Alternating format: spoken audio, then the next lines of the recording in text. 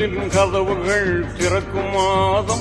அழகு சுந்தர ஹூரூரீன்கள் மகிழ்ந்திடும் மாதம். நரகத்தின் கதவுகள் மூடும் மாதம். கெட்ட இபுலீசை விலங்கிட்டு தடுக்கும் மாதம். நோன்பு வைத்தோர் துவாக்கள் எல்லாம் ஏற்கும் மாதம்.